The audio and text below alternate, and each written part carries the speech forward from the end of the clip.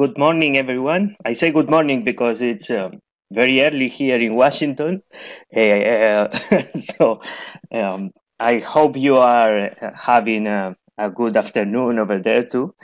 Um, we're here today to discuss a bit uh, digitalization and decentralization.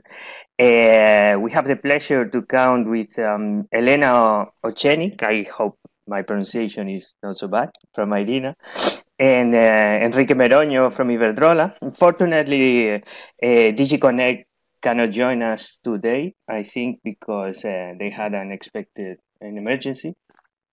Uh, but the idea today is to uh, try to discuss and use a bit the um, uh, recent report from IRENA talking about innovations in the energy sector to try to organize some thoughts on the way forward uh, in the, the, work to do in the very in the near future in the energy sector. Um, I think I just uh, begin with a bit of housekeeping. Um, the organization of this event is very simple. Uh, first, uh, IRENA is going to present the report, and uh, Elena, IRENA is a bit. uh, Elena personally is going to present the report, and Enrique and me will going to to comment briefly on on it. Uh, and then we'll have uh, uh, a round of uh, comments trying to uh, identify lessons from the report that can be used for the near future work on on energy sector uh, not only regulation but also um, uh, business model development, etc. Um, after that, we will try to wrap up uh, briefly, uh, about five minutes. Um, uh, probably it's going to be me, but also we will have some times for reaction from Elena and Enrique, and finally 20 minutes for Q&A.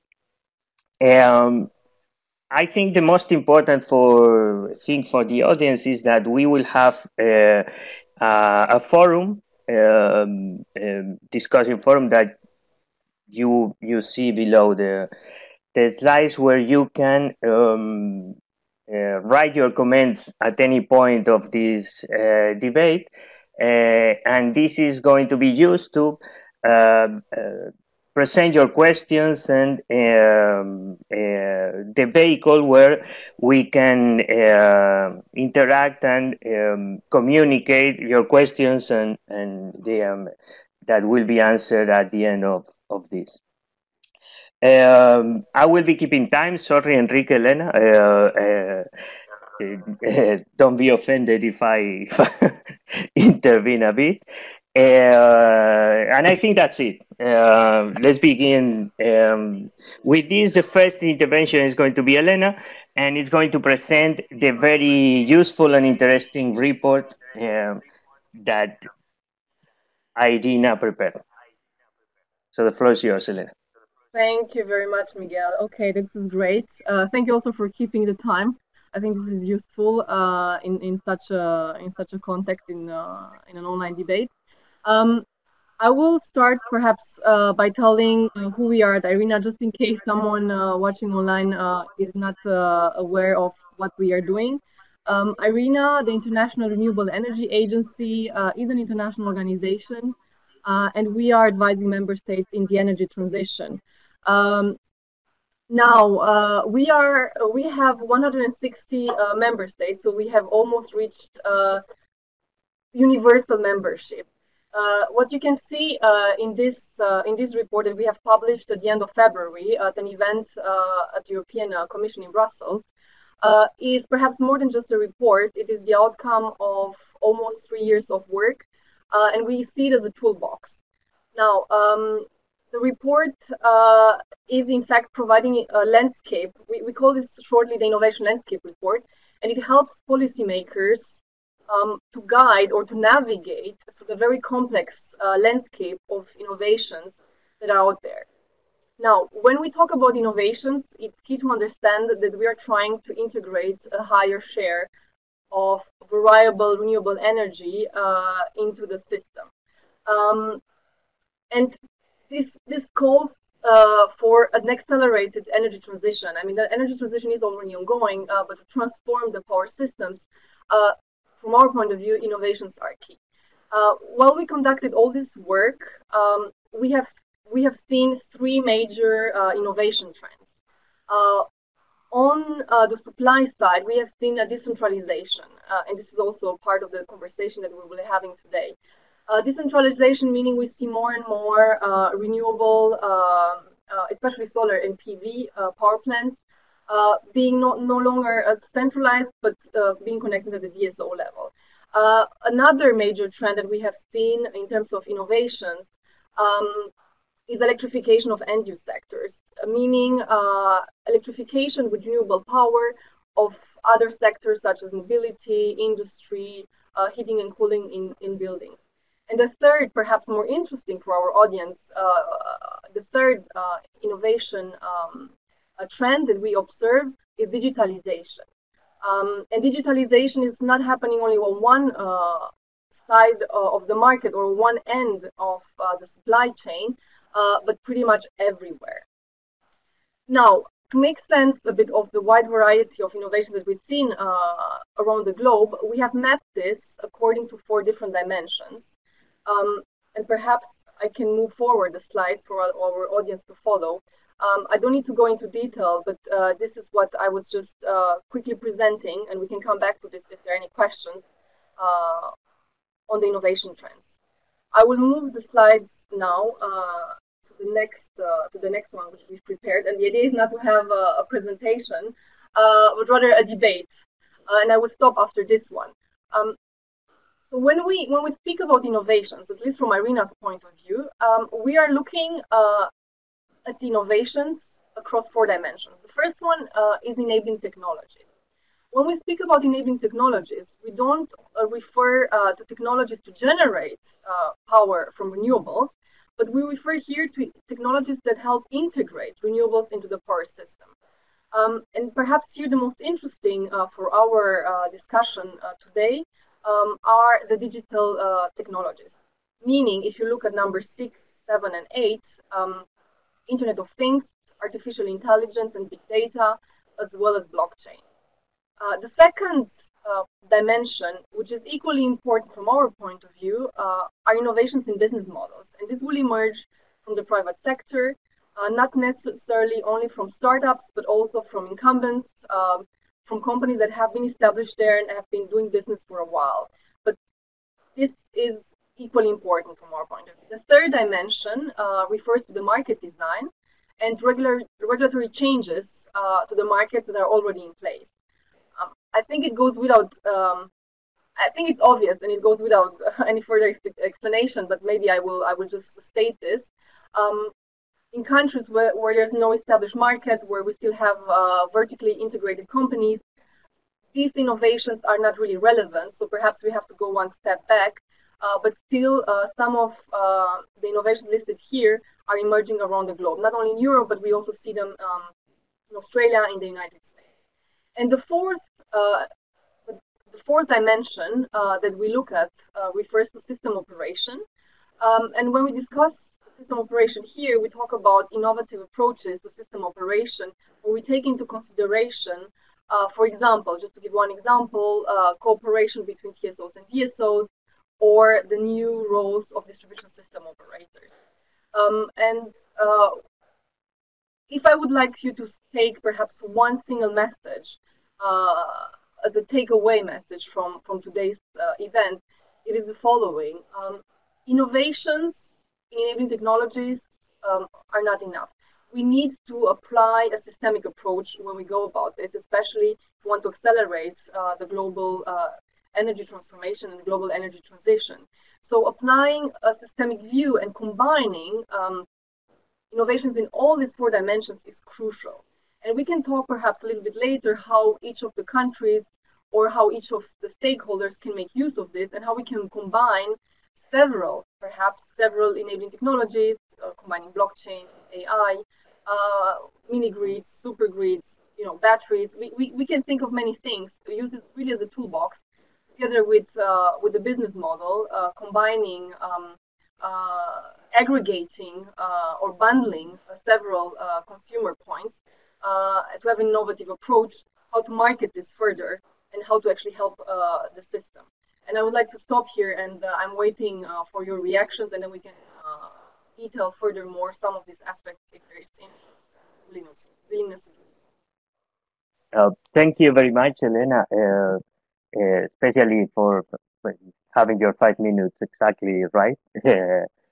very interesting uh, presentation. I liked a lot the, the idea of systemic approach. Uh, it's very much aligned with uh, with our own view in the innovation area.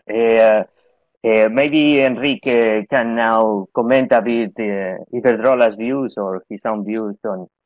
Of course. Uh, first of all, congratulations for the for the report because it's uh, I think it's very comprehensive and and and I, I agree with, with Miguel also that the the systemic uh, systemic view is something that we we consider a lot. Uh, of course, what what I would like to to to you know to highlight a little bit it's in this situation it's the importance of the of the networks in particular and the value of the grid in, in, in specific because for for Iberdrola's view uh, I think that one of the things that uh, that uh, digitalization brings to us is connectivity um, and if you see for example different sectors that are involved in the same in the same transition, like for example, uh, transportation.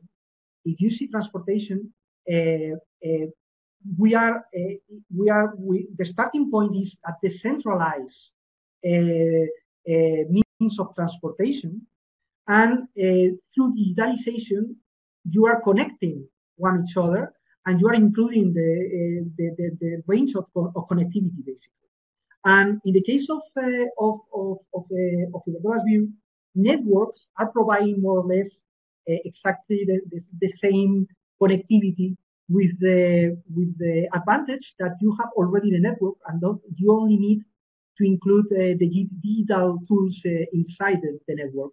So basically, the connectivity brings tremendous benefits and um, and permits uh, that all these um, business models that you are uh, you are uh, summarizing in, your slides uh, to put all that together and, and work together. So you know that there's uh, there's some views that that are talking about that this is going to be a full decentralization in the future with you know isolated areas of of generation and and, and microgrids uh, isolated from, from the rest of the network.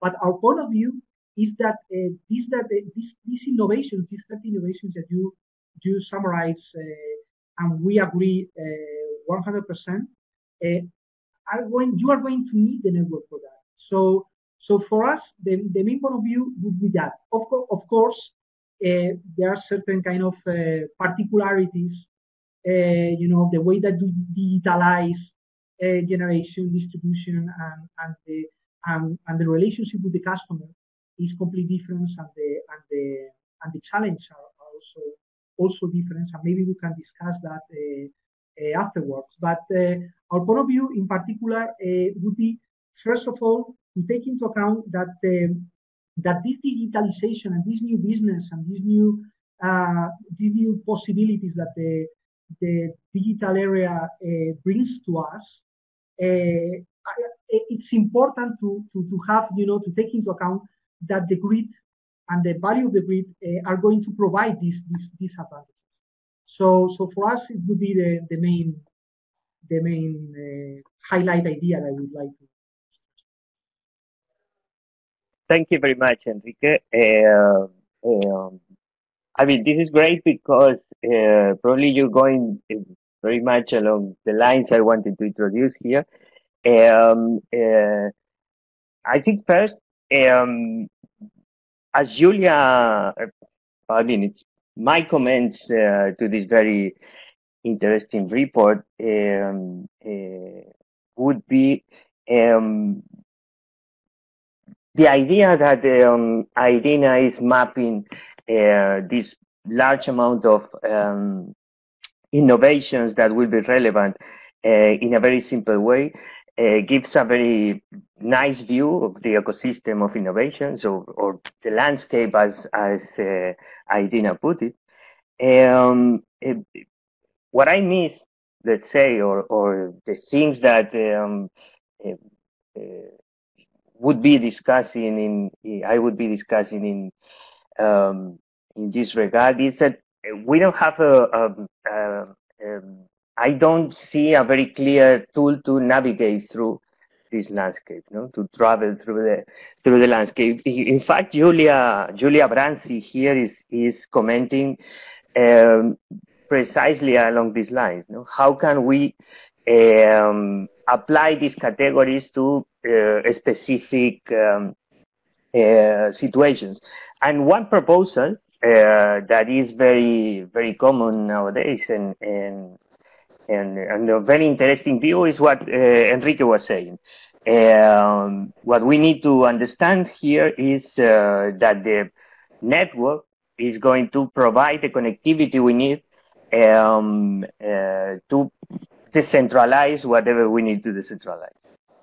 Um, what I want to introduce is a, um, an additional dimension that I think is not so much uh, commented. Um, uh, especially looking at, at these uh, innovations mapped by, by IRENA.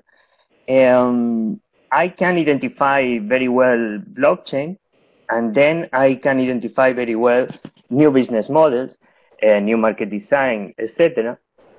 Uh, what is not very clearly um, explained, let's say, is the way in which uh, we're going to do that. Uh, and I'm I'm referring here specifically to the idea of a smart contract.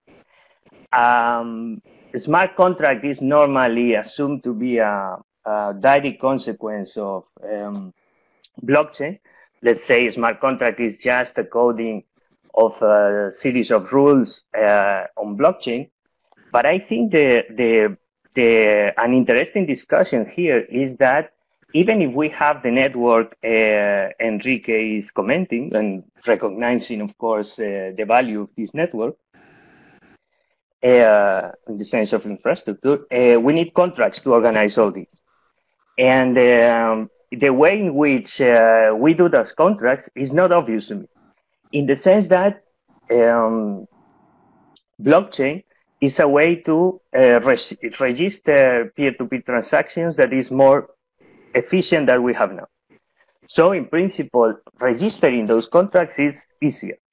But um, mm, my point is that registering contracts or transactions, let's say, is not the only thing contracts do. Um, let me uh, use a very simple example or a, a dimension, which is um, we don't have complete contracts right now uh, our contracts cannot specify every contingency that we're going to have in the future. So essentially, uh, a contract serves to uh, allocate rights to resolve conflicts in cases where, uh, or in the cases that were not specified in the contract. Uh, contingencies that happen that are not specified in the contract. This is a very difficult question, um, very well treated in the literature, um, and the economic literature at least. But um, that's very difficult to code. So essentially, uh, what we're going to have is uh, um, an allocation of, um, let's say, rights to decide in situations uh, that were unexpected. Um, I don't exactly see how you can do it decentrally or in a decentralized manner. Uh, but essentially, my point is that that might be more expensive. I don't see that um, uh, decentralized contract or decentralized trading, uh, even if possible, is necessarily more or cheaper than um, uh, centralized contracts. So still, we have a very difficult choice uh, um, we have a very difficult choice uh, here, which is whether we want decentralization or not. Uh, even with this digitalization, we still need to uh, compare institutions, compare contractual ways to do things, and uh, choose the uh, activities where we want to do that and activities where we don't want to do it. For example, Alicia is commenting here uh, tokenization. Tokenization is not especially a new situation with the um, in economic transactions. It's very similar to equitization. I mean, you're just uh, allocating small parts of uh, uh, the, um, um, let's say, the ownership of an asset among many parts, and you register that. So uh, the question is that uh, doing that is interesting because you share risk, but it's not very interesting in the cases where you have incentive problems. Let's say uh, adverse selection, moral hazards, and so on. So um, what I would say here is that the way in which we can connect these all these dimensions um, uh, should be the contractual part of this, and uh, probably it's not especially clear right now. Um, how can we do that?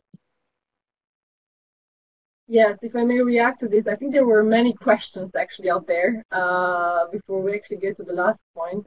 Uh, so, so, indeed, maybe maybe I will go one one one question back. Um, so there was a question regarding. Um, I'm trying to find it in the chat right now. Um, I think it was from Julia exactly. So whether there were. Uh, so she was saying that it was interesting to expand on how these categories of innovations uh, would be differently relevant uh, depending on the specific country uh, endowment with resources and the degree of and the degree of market development.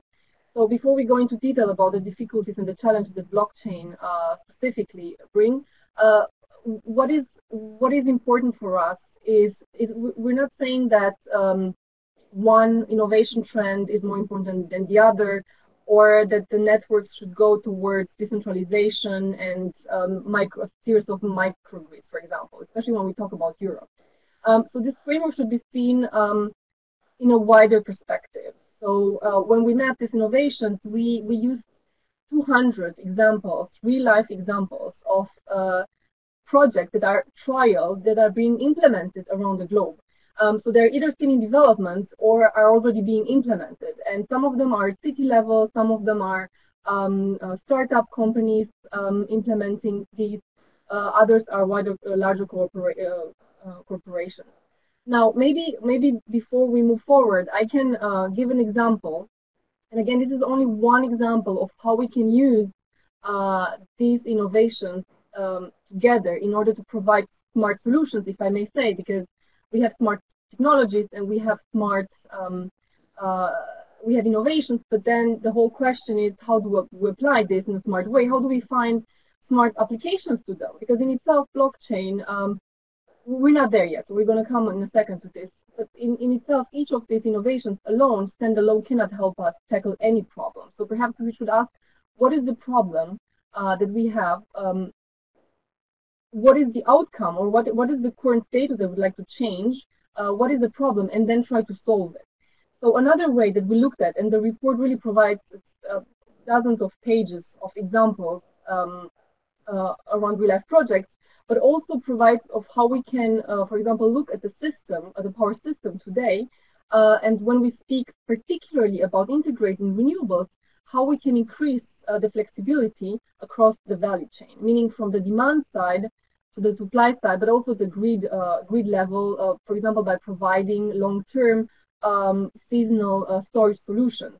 Uh, and this is where we have um, uh, this is where we have enabling technologies or innovations in the category of enabling technologies, such as renewable power to hydrogen, renewable power to heat, or others for shorter term flexibility needs.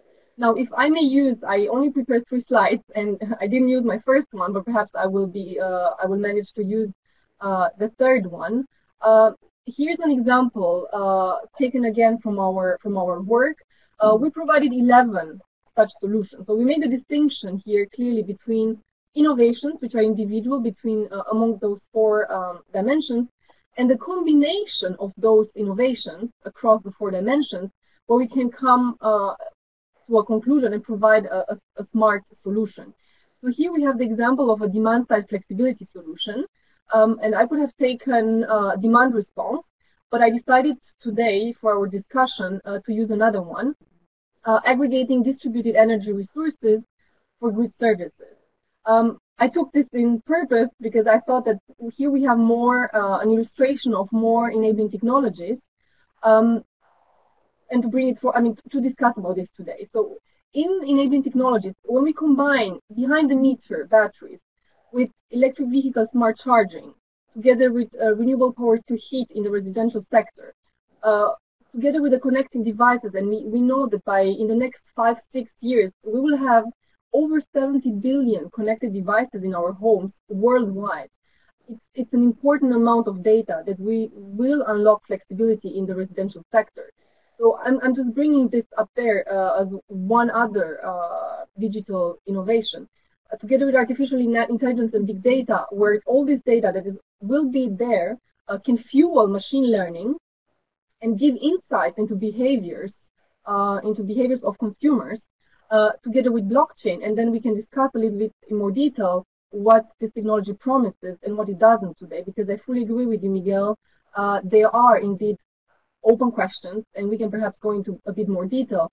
But I'm trying to highlight here that we uh, we're trying to see, see a bit more wider. And then if we have aggregators, and I know now in Europe with the clean energy package, um, we have this opportunity. Aggregators can actually now start uh, to look around what they can do in more detail. They actually have a regulatory, regulatory framework uh, well, this was not the case seven years ago, for example, when we, when I first came personally across a company who was uh, saying, okay, we're an aggregator, and we didn't really know what it was. Was it aggregator on the consumer side? Was it aggregation of um, on the supply side of the market when we're talking about solar PV? So really, seven years ago, when, when I first met such a company, I, I really didn't know what to do with it. Uh, I didn't know what to do with their business model. So today, I think in Europe at least, if you want to um, you know, not to keep just the Euro Euroconcentric uh, focus, um, this is already a big advancement, and it, it, uh, it's it's one step ahead compared to a few years ago, and perhaps even compared to other countries in other regions of the world. Um, now, again, without wanting to go into too many details, uh, when we aggregate also this, this distributed uh, energy resources, it's not enough to have the technology and to have smart people in the private sector proposing uh, this new uh, ways to monetize um, their ideas, but it, we also need to have the regulatory framework in place where we can actually um, integrate those resources into the market and so that it can actually help um, provide services to the grid uh, that the, need, that the grid needs in terms of flexibility. And we've seen, I will just mention two examples um, from Europe, uh, the Sonnenbatterie example here uh, in Europe, where they can actually provide um, uh, frequency re response if I'm not mistaken, it's a, a sub-second uh, level. So if we aggregate all that demand, we can really unlock a lot of flexibility. So it's not just about um, um, decentralized and peer-to-peer trading. We can even go a step further and look at the system today in Europe uh, and try to understand how we can provide services to the grid. Uh, and this is why I chose this um, uh, this particular example. Uh, and then I don't know if you want to react to this or whether we should speak also a little bit about blockchain. And I myself have some questions for you uh, because today what we see when we look at blockchain, um, we see that Europe is indeed emerging as one of the leaders uh, around uh, the globe. Uh, why am I saying this? Uh, we see uh, about 70 projects where blockchain is particularly um, used or tested. it's still tested actually uh, for applications in the energy sector. This is a, a, big amount, I think, of projects. We also see uh, around 400 million US dollars invested in, uh, in blockchain projects for energy. So this again, it's not a small amount of money. So this means there are things happening. Um, uh, there's perhaps we need to be a bit more patient. We're still talking about innovations. Uh, there are open questions that need to be addressed together with the regulators. Uh, but still it's not insignificant. Uh, now, the question that I personally have, and perhaps this is up, up, for discussion and also something to take forward for future collaboration, future open uh, conversations like this one, uh, is perhaps on the governance level. So indeed, how can we um, coordinate all actors uh, involved uh, in this sphere to actually come uh, and make make some smart use of these of, of, of, blockchain and at least what they promise um, uh, to to unlock. so basically, we speak about ICT companies, we speak about regulators, about retailers, um, the DSO, the TSO. So perhaps we need to engage, and even the consumer. Perhaps we, we're going a bit too fast and we're not really talking about consumers and the role that um, uh, automatization has uh, in this in this uh, in this process. I'm trying to say is that personally, I don't really see myself uh, trying to optimize my energy consumption, my electricity consumption with my electric vehicle and all my smart devices around the home, uh, around my home, which I will have in the next five years. As I was saying, if you want to reach the 75 uh, billion uh, connected devices, I don't see myself doing this um, on a daily basis.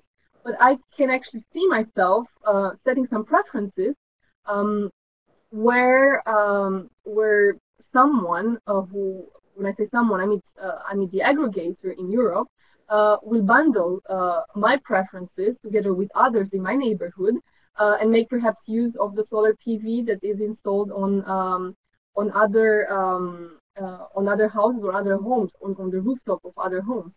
Um, so then blockchain really has an added value. Uh, but again, how do we take this forward? I think a more open uh, dialogue is needed. And if I'm not mistaken, we have uh, we have lost Enrico, or is it Enrique, or is it just me?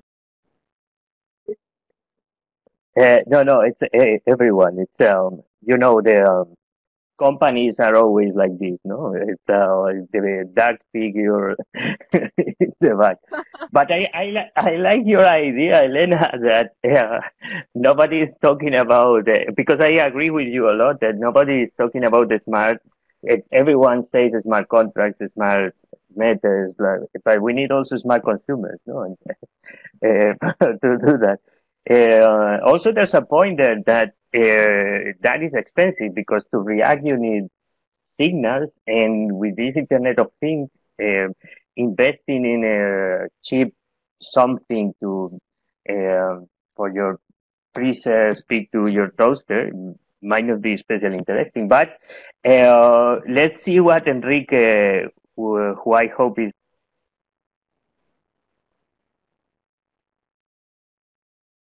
I'm not sure if he's still online. Let's see. Yes, yes. Hello, can you listen to me? Yes. Yes, we can hear you. My webcam, because, uh, you know, it looks like I'm frozen or blank, but uh, I can hear you and see you in my, my monitor. Perfect. I'm not. Yes, I'm not a good example.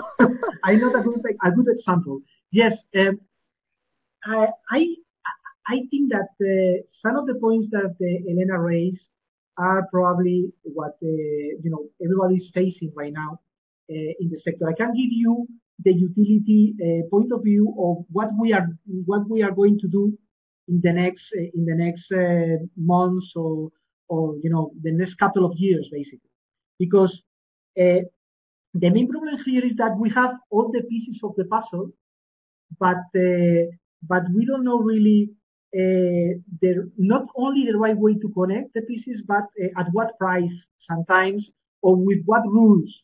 So uh, uh, the the issue here is that um, what we are trying what we are trying to do is we have the advantage that we are we have a, a very intensive presence in five markets. Uh, Spain, of course, UK, uh, US, uh, Mexico, and Brazil. So in each in each market, you have a different regulation with different with different rules, and and in each market you have also different assets. Not only because in some markets we have more renewables than others, uh, but also because uh, in some markets we have different network different heritage of investment in certain things, uh, in certain kind of assets. So, so we are we, we are we have different five different starting points. So what we are doing is one location, one one city, one specific place in order to launch some kind of smart city concept, trying to involve all these kind of different business models, different uh, transactions, uh, and in parallel, of course, we are we are uh, doing different kind of uh, development in each country. In each country, for example, about about blockchain, we recently uh, we, we use blockchain to guarantee the energy that we are supplying to customers, that that energy that we are supplying is 100, 100% renewable. Uh, it's the first experiment that uh, that we did. Uh, we, we, we did that with uh, with the financial entity Kutxabank, which is a bank uh, in the north of Spain, in the Basque country, and uh, and that, that, that, that we try just to to to to, te- to test that and to check the different possibilities of blockchain in this kind of peer-to-peer transaction. And, and also we, we are starting to, to working on that also in, in the, the energy management area as well. So, but, but it is that we are trying to use one kind of uh, testbed uh, city in order to, to, to try to, to test all these different uh, possibilities with the, with the hardware and software and with the different possible signal prices, uh, regulatory, regulatory, uh, you know, laboratory as well to, to different measures in order uh, to suggest to regulatory authorities what would be the, the, the, next step. So, so, you know, it's a very pragmatic approach. I don't have the solution for some of the questions that you raised before, but but this is what we are doing right now in a, in a current uh, in this current scenario.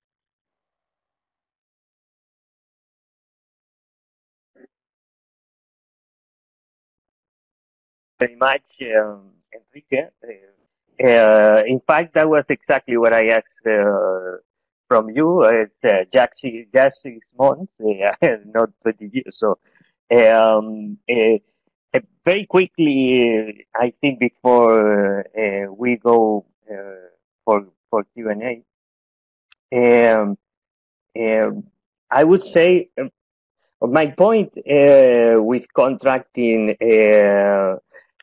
I think it's very clear in, in what you were saying. No, even in with this, if we see this um, um, this slide from the, the 11 solutions from from Elena, uh, which is a very nice uh, map of, of things that that we need. Uh, probably the the next step or the, the next question I have is um, how do we do with talking about blockchain, uh, the future of, of uh, systems in general is um, uh, where is financing? In the sense that um, um, where different ways of financing uh, enters the, the picture. Because for me that's um, very not clear in the sense that um, blockchain is very nice but it's not very mm, clear whether they're going to provide new ways of trading or just new ways of um, interchanging information. And I think that's the, uh, if we think in terms of contract, that might be a problem uh, with me because I work with regulation. So I always think uh, of um, uh, the contracts uh, among players. Uh, I would say the, the idea of contracts allows going from the technologies you mentioned to probably business models uh, in the sense that technologies might allow different ways of contracting, which allows different ways of financing, which allows different business models. And that's a that's a question. It's been raised here in the chat, um, uh, which is what are the barriers?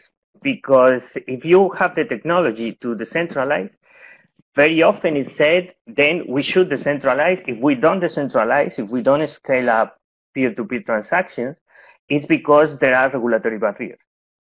And uh, I understand the reasoning, and uh, it's a valid point.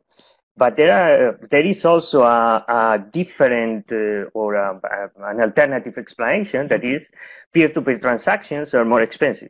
That's something that already happened in in in stock exchanges, for example. I mean, it's everyone was saying uh, over-the-counter transactions would be the future, blah blah blah.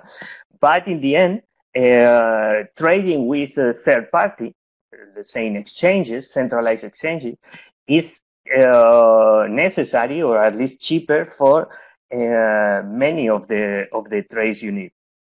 So what I would say probably is that uh, in the future, uh, what we will see is the coexistence of um, uh, peer-to-peer transactions and centralized trading. And uh, for me, the next step in, in that process is identifying uh, precisely that question: which are the the transactions that can be organized by peer-to-peer trade and they're not organized like that because of regulatory barriers.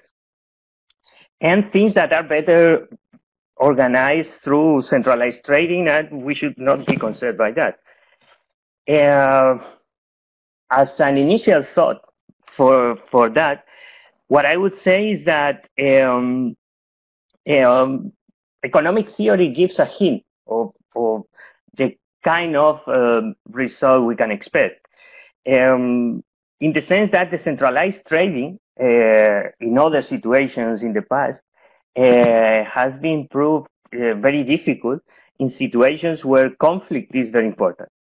A typical example of that is a long-term contract for infrastructure, power line, a big power plant. you need a long-term contract to get the financing and build um, things and so on. The power purchase agreement, for example, that Enrique was commenting in, in Latin America. Uh, these are very difficult contracts, uh, and it's inefficient to allocate ownership to many parties in that, or, or control rights to many parties in in that situation. So probably uh, in things that need a, a big investment, uh, we will not see um, many decentralized uh, trading. On the other hand, when conflict is not very important, or uh, for example, investment in energy communities, etc., we need where incentives are more or less aligned. Probably peer-to-peer trading is um, interesting, and probably if it's not scaling up, can be technology, but probably it's also uh, some kind of market design barrier. So uh, my idea for the next steps uh, in the very short term is that uh, we should identify uh, in more detail, be more specific about uh, the way in which you you go through technologies to business models uh, and then market design in order to to identify those barriers. because doing that the networks Enrique was commenting and the system, the way in which systems uh, should operate, flexibility and so on, uh, can be better defined in the sense that they should serve, they should provide, should facilitate the kind of trading uh, we want. Um, I think um, there's a there's a um, for this.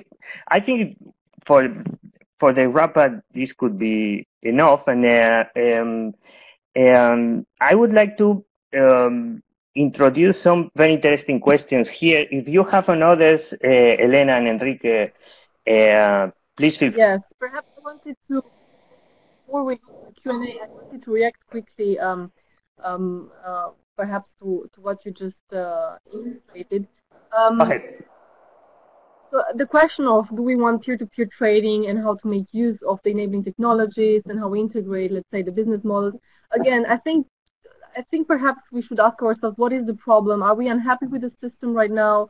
Or do we really want to go towards more decentralization? Or or is the issue really um, we need more um, we need to integrate into the market uh, what we see, all those distributed energy resources being uh, the demand response uh, that can be unlocked from all those smart homes, uh, be it uh, an aggregation or a bundling, all of those um, of the electricity produced from rooftop solar PV plants or I, I, think the question is what is really the problem that we're trying trying to solve before we go uh, into a little bit deeper? And now with blockchain and there was um, now i'm just touching a little bit on one of the questions that was asked before um, but this i think is very important to mention. Um, yes cybersecurity risks are real uh, gdpr and privacy issues and how how much are consumers willing to actually engage with the market this is a question where I, for now, for the time being, I haven't seen a lot of data uh, coming uh, from behavioral economics. So uh, I, have seen some data, but again, sometimes the conclusions are contradicting, so we don't really know. Uh, if we know exactly how much we spend, if we know how much CO2, for example, um, uh, contains uh, our or our, so let, let me rephrase it. If you know uh, our uh, our CO2 consumption uh, by using the electricity in our homes and all the devices, and if we have detailed, granular data on this, because now with Internet of Things, we will be able to have this. And for a matter of fact, we know that there are startups out there providing this sort of uh, working on this sort of solutions. Uh, but again, they're not marketed yet. They don't have a business case yet because uh, the regulatory framework is not very interesting for them. Um, but even let's say if we fix all these things, uh, once the consumer is very well informed, uh, let's say we we uh, we go forward two years from now uh, and we solved all those problems uh, uh, for blockchain, as you were saying, um, but we also fixed the problem of interoperability. Let's say there's no issues there. Again, we come back to the consumer. Are they willing to engage? Do we are we sure that um, we will respect GDPR and the privacy regulations? So I, I think I think there are more questions uh, to see as we move forward into more detail, especially when we talk about blockchain. I think there are more questions which are open and are up for discussion. I don't have personally an answer to this, but I think it's important to start this dialogue, to actually start raising awareness. Uh, but there's another point, uh, and I've seen recently, actually last week, to be very precise, I've seen a demonstration uh, of how blockchain works. Uh, and in fact, um, some of the developers, they were saying, um, we are not reinventing the market. We are just uh, mapping, uh, you know, we are using uh, the market structure that, it, that is there today in Europe. So we have, uh, they had intraday markets, we, we map balancing markets, and then we're just adding this as a tool. So as a way to trade automatically based on certain preferences and based on um, uh, based on the units, the generation units, on the storage units, basically on the distributed energy resources that every home has. Um, so they're claiming uh, that they are not really, um, let's say, reinventing our uh, business models or not, sorry, our market designs. Um, but again, perhaps inviting them uh, when we go forward in this conversation, seeing what the challenges are and how we can bring uh, this whole agenda forward. Great, Elena, because it, that's that's uh, very related with uh, what Enrique was saying, uh, the, what um, um, Iberdrola is is doing um, uh, elsewhere. I I I would um, like to to to ask uh, Enrique and also Elena uh, um, the question from Bernhard, um, which is very related. I mean, with, um, with to what you were saying, I think, which is, um, do we have value in in uh, in these transactions? I mean, load shifting, etc. This kind of reaction of uh, response. Um, uh, it's enough with uh, providing price signals in the sense that we're talking about here with blockchain and so on, you will be sending price signals or you will need something more, I mean, in terms of behavioral measures yes. or or something like that? It's a, it's a, it's a very good What question. do you think, Enrique? no, no, no. I'm not right. going to say that because it depends. Uh, but uh, it's a, in this situation, uh, what what we are facing is that there are different layers that are working in parallel. And sometimes it's very difficult to, to have a clear idea because it depends of, of a lot of different layers. What I tend to say is that, for example, eh, in the case of, uh, of behavioral, uh, it, it's similar, for example, that we happen with the smartphones application. Uh, in a in a period of in a certain moment of of, of you know the first three five years, the impression of the market was that the you are going to be rich and and you're going to earn a lot of money, uh, you know, with the new app in your in your cell phone, and and and after that, you know, uh, you know, it was a, a, decrease of the of the enthusiasm, and and and you realize that the people are. Oh, um, Enrique, I, I can hear you. I, I think maybe um, because I, I understand what you're saying is um, uh, or, or, my feeling at least in in uh, in all this is that uh, we don't know very well and uh, um, uh, we need to we need to test uh, whether it's interesting or not. It's um, and and I think it's important because we we say two things uh, at the same times very often. One is uh, we have regulatory barriers, and and that's the problem with uh, with um, scaling up these projects. And on the other hand, we say we don't know exactly what to do. Uh, probably we need to organize a bit this. Uh, but uh, Michelle has here um, a question, um, um, which is, in my view, um, a very important application of this, and, and, probably where things are moving forward more clearly, which is related to uh, middle-income countries or low-income countries, whatever, uh, uh, such Latin America. Um, um, whether uh, the idea would be um, um, whether we can use these new technologies, the digitalization, to um, uh, make the system cheaper. In the sense that uh, there are many people that cannot afford the electricity services. Um, one of the main points, or one of the first point, is making energy services cheaper. Uh, do you think this is going to be possible, Elena, and you think? What do you think? Um, so the question is, um, I think the the question is, uh, I'm not sure if it's the right question to ask. I mean, can digitalization really lead to more affordable electricity uh, in middle-income countries, for example? Um, I'm not sure the answer is positive um, because digitalization will come at a cost. Uh, the question is, do we want to start uh, to put a burden on households where uh, perhaps uh, 50 euros a year um, is not insignificant. I, I'm not sure. So I think this needs to be really taken into account in a, in a wider scope. And of course, in this transition, we want to not only just to have an energy transition, but also a just transition. So we need to take into account also this uh, uh, this this aspect. Um, but again, we need to look at every country at what, what the real problem is. Because if there's, uh, let's say, if the problem is having access to electricity in the first place, I'm not sure we answer this with digitalization. Uh, if the problem is we need more flexible systems and we can unlock flexibility on the demand side uh, of the market because we know that there are many uh, consumers, many households, a lot of uh, new loads. Uh, we will see in the future more and more electric vehicles. If we can use this smartly for the system to provide services, then I think digitalization is indeed uh, an answer. Uh, and then again, do we want to unlock this? Yes, okay, but what next? Uh, again, I would like to insist on the automation, automatization, um, because we can hardly see one consumer uh, optimizing, spending time on the electricity markets, trying to understand uh, and receiving signals and reacting based on that. So digitalization in this point of view will play a, cru a crucial role. Uh, now, if I may go perhaps to some of the questions, uh, I know we don't have much time left. I feel a bit, uh, I think it's a bit pity because I also uh, could not follow fully uh, what. you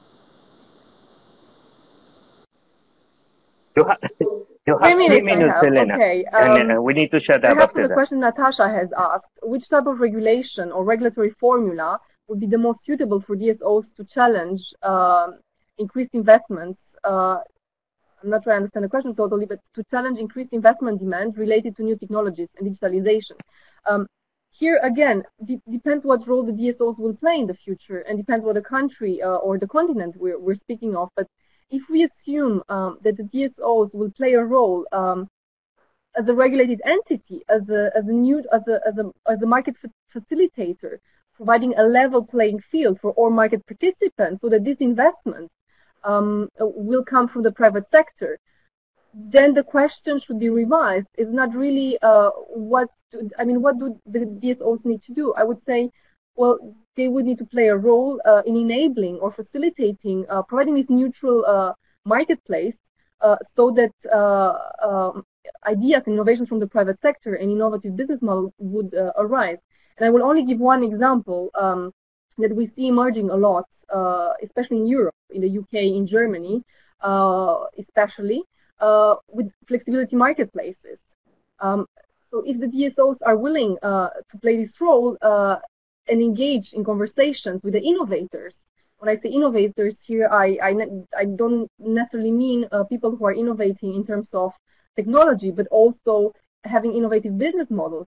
If we let them trial, uh, if, if, we, if we keep an open and cooperative approach uh, and let them test a little bit, see whether consumers are reacting, whether there is enough flexibility, uh, whether the DSOs can use this flexibility in their operations, whether perhaps DSOs can uh, collaborate uh, with TSOs to provide this local flexibility need uh, um, uh, to the TSO uh, need. Perhaps then we can come up with some some smart solutions. But again, I, I, think we need to have this wider, take this wider approach, but also look concretely what is already there, what is the problem, what is the issue we have, what are the solutions that we can apply, by combining uh, several of these innovations that are there. And of course, uh, if I may wrap up uh, and finalize with this, when we speak about blockchain, I think we, we, we are just starting uh, to have this conversation and uh, more uh, dialogues need to happen on this topic. Perfect. I, I, I, going to close with that.